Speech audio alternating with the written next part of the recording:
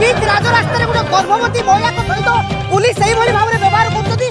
সেই মূর্খাটিয়া পুলিশ তাকে মো গোটিয়ে দেখুন ক্যামেরাম্যান କ୍ୟାମେରାମ୍ୟାନ୍ ହରି ମୌସୁମୀ କ୍ୟାମେରାମ୍ୟାନ୍ଙ୍କ ଭୁଲ